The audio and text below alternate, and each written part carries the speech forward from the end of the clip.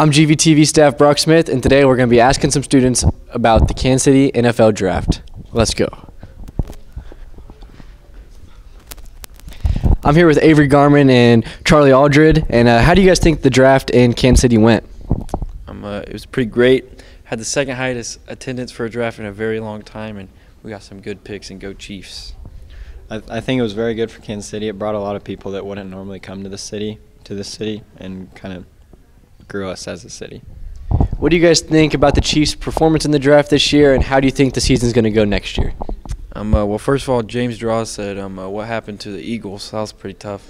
First round pick, steal, and then we got a second round receiver, steal. I think we're gonna win another Super Bowl and rebuild or reload. What about you?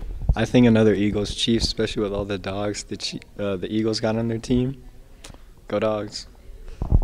Thank you.